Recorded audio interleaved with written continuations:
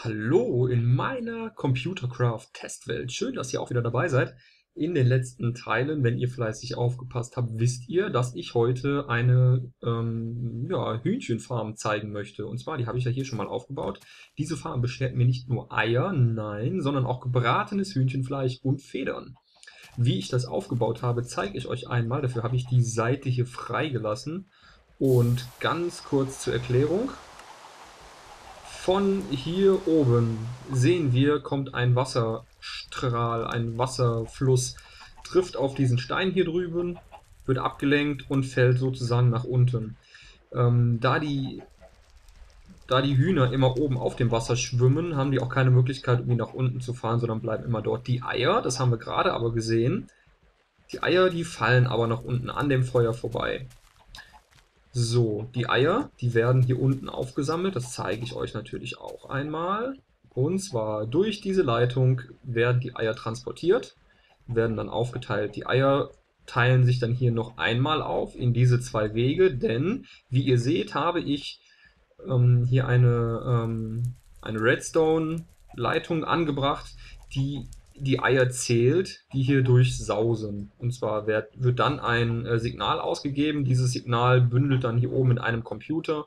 Und in diesem Computer ist nämlich ein Itemzähler drin, der mir immer sagt, wie viele Eier ich aktuell in meiner Kiste habe. So viel einmal zu dem Aufbau hier unten. Und hier drüben haben wir noch ähm, den Ausgang. Hier haben wir dann später die Möglichkeit, die Eier wieder in das Becken oben hineinzuschießen durch den Motor. Hier werden auch nochmal die Items gezählt, die rausgehen und werden dann von der Anzahl abgezogen, die das Programm schon erfasst hat. Ich habe neben diesem Aufbau hier drüben nochmal einen Aufbau gemacht mit einer durchsichtigen Sichtweise. Da haben wir nämlich etwas bessere Möglichkeiten, das zu gucken. Und zwar auch hier sehen wir, also diese roten ähm, Kolben sind auch Pistons, die, die später ausfahren. Und zwar habe ich das wie folgt aufgebaut. Ich habe hier, das habt ihr gesehen, einen schmalen Wasserlauf gemacht, der hier runter führt und hier einen ausgefahrenen Kolben mit einem brennenden Netherstein gesetzt. Direkt über dem ausgefahrenen Kolben mit dem Meterstein ist noch ein ausgefahrener Kolben mit einem beliebigen Block. Der sorgt letztendlich dafür, dass das Wasser nicht runter auf das Wasser fällt, sondern einen Umweg nimmt. Wenn ich jetzt später das Programm starte, werden diese zwei roten Kolben ausgefahren, das Wasser stoppt und die Hühner fallen hier auf diesen Stein. Kurz nachdem die beiden roten Kolben ausgefahren sind, fährt dieser Kolben wieder ein und die Hühner fallen runter ins Feuer. Und dann, ungefähr eine Sekunde später, fährt der Kolben mit dem Feuer ein, das Feuer wird gelöscht und die brennenden Hühner fallen nach unten und sterben. Kurz danach geht das Wasser wieder an und das ganze Fleisch und die ganzen Eier und die ganzen Federn werden dann nach vorne gespült. So viel zum Aufbau im Prinzip. Hier sehen wir noch einmal die, äh, die Eier. Die fallen hier runter am Feuer vorbei, fließen hier runter und werden dann nach vorne transportiert.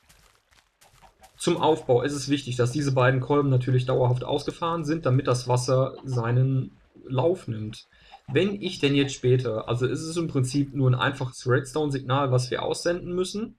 Wenn wir das Redstone-Signal aussenden, fahren die beiden roten Kolben aus und das Feuer, äh, das Feuer sage ich schon, und das Wasser stoppt natürlich.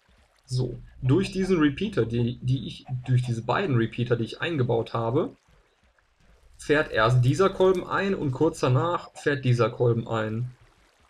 Dann startet das Wasser wieder und die beiden Kolben fahren aus. Und dann im Anschluss daran, wenn auch dieser Kolben wieder ausgefahren ist, habe ich hier einen Deployer mit einem Feuerzeug drin und durch ein aktives Redstone-Signal wird dann das Feuerzeug ähm, abgefeuert und ja, der Nether-Block wird angezündet. Das habe ich nämlich einmal hier kurz aufgebaut.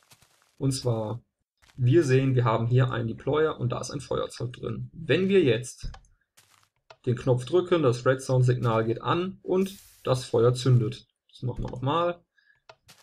Das hat nämlich den Hintergrund, weil ein Deployer macht einen Rechtsklick mit dem Item, welches in dem Deployer vorhanden ist. Das gleiche haben wir gesehen bei unserer Weizenfarm, die ich gebaut habe. Weizen setzt man ja auch per Rechtsklick. Deswegen ähm, wird auch das Feuerzeug nicht ausgeworfen, sondern es wird benutzt. Das habe ich hier auch mit eingebaut, so dass Äh, ein Feuerzeug ist relativ einfach herzustellen, so dass dann auch später das ähm, Feuer hier wieder entfacht wird. So, ich zeige euch einmal, wie das Ganze funktioniert. Ich habe ein kleines Programm geschrieben. So, ihr seht. So, die Kolben sind ausgefahren und das Hühnchenfleisch wird nach vorne geschwemmt. Also es ist im Prinzip eine relativ simple Art und Weise, wie das Ganze vonstatten geht. Jetzt ähm, wäre das aber natürlich kein Computercraft-Tutorial, wenn ich nicht auch ein bisschen was mit Computern zeigen würde. Und zwar, wir haben ja in den anderen Videos schon gesehen, dass wir äh, in unserem Haus einen Computer stehen haben, von dem wir dann die äh, Hühnerfarm steuern können. Und zwar, wir schauen uns das einmal an. So, und wie wir hier sehen, haben wir ein Programm, das heißt auch Hühnchenbraten. Wenn wir dieses Programm starten, das machen wir jetzt einmal, fragt er mich, wie viele neue Eier soll ich denn werfen? Das hat den Hintergrund, damit auch wenn wir die ganzen Hühner vernichtet haben, auch wieder neue Hühner produzieren können. Wir machen jetzt einfach nur mal eine kleine Zahl, damit wir was zeigen können. Wir sagen, bitte 20 neue Eier werfen. So, das Ganze schauen wir uns auch einmal an, wie das funktioniert.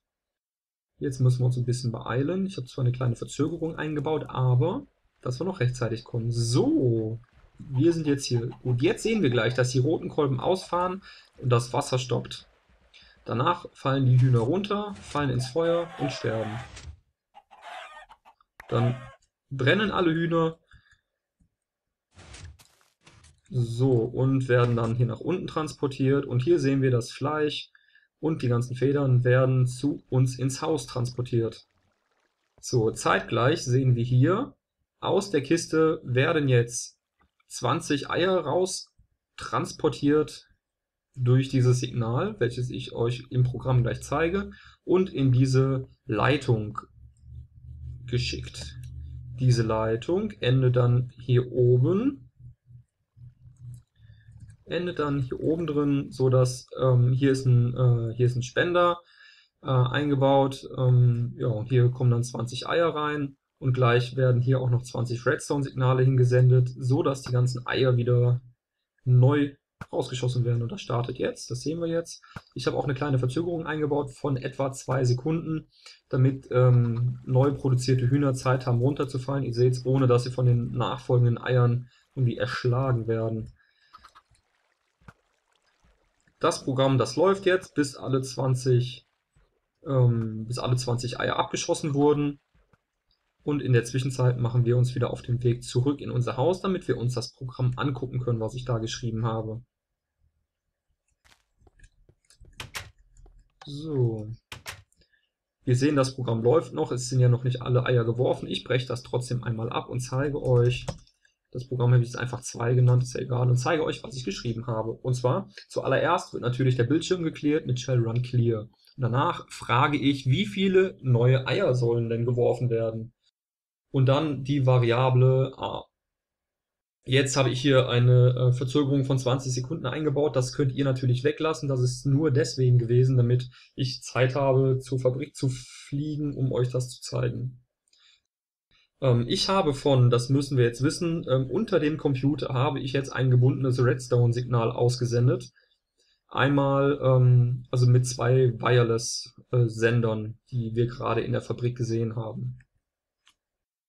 So, und zwar sage ich nämlich jetzt, also durch dieses Redstone-Signal, was ich hier aussende, das wird hier 8 Sekunden gehalten, ähm, fahren die einen Kolben ein, die anderen Kolben fahren aus, so wie wir das hier bei dieser durchsichtigen Variante schon gesehen haben. Ähm, und jetzt sage ich, okay, A1 ist ja die Anzahl an Eiern, die ich gerne hätte. Wenn das größer ist als 0, dann sende bitte ein weiteres Redstone-Signal raus. Das geht dann an ähm, den Wireless Receiver oder an den Wireless Transmitter vielmehr, der dann dafür verantwortlich ist, neue Eier aus der Kiste zu ziehen. Die neuen, die Eier werden dann aus der Kiste rausgezogen.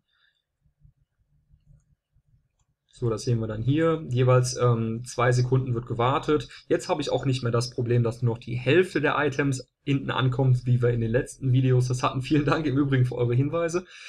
Sondern ich warte jetzt zwei Sekunden und so kommt genau die Anzahl, die ich haben möchte, auch oben im Spender an. Gut, jetzt müssen wir die ähm, Variante A1 natürlich wieder auf den Ursprungswert setzen und sagen jetzt genau so oft, wie du die Eier aus der Kiste gezogen hast, sollst du bitte oben die Eier auch rausschießen. Das heißt, mit einem weiteren, diesmal ist das die magentafarbene ähm, Leitung, die unter dem Computer rausführt, äh, die sendet dann oben an den ähm, Transmit an den Receiver, der dann dafür verantwortlich ist, die Eier rauszuschießen. Sendest du bitte auch genauso viele Signale. So, auch wieder zwei Sekunden warten. Im Prinzip ist das genau das gleiche. Genau, und dann beendest du das Ganze und dann startest du den Computer bitte neu, denn ich habe mein Startup ja soweit verändert, dass wir genau dieses Bild hier sehen. Genau dieses, von dem wir dann auch die ähm, ja, Sachen wieder auswählen können.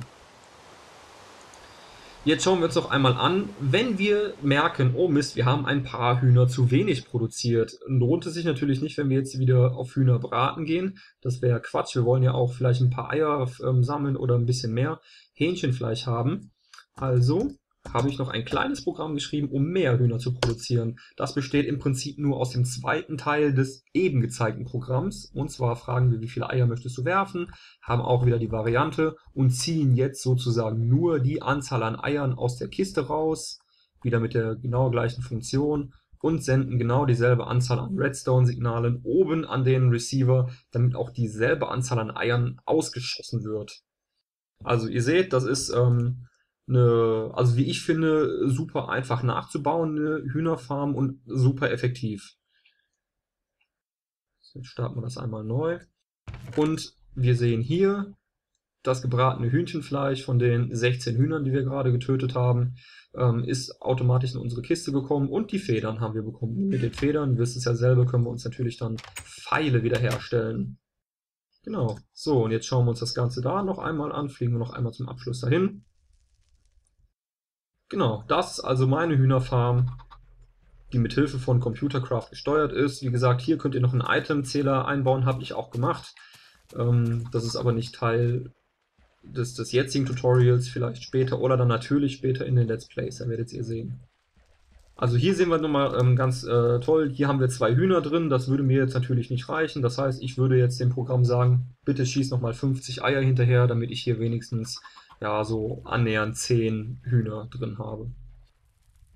Das war meine Hühnerfarm, die computergesteuert ist. Als nächstes ähm, zeige ich euch eine Bitte eines Users, ein Programm ähm, zu machen, um einen Keller auszuheben, also um eine gewisse Anzahl nach unten zu graben. Wie das funktioniert, das allerdings beim nächsten Mal. Macht's gut. Tschüss.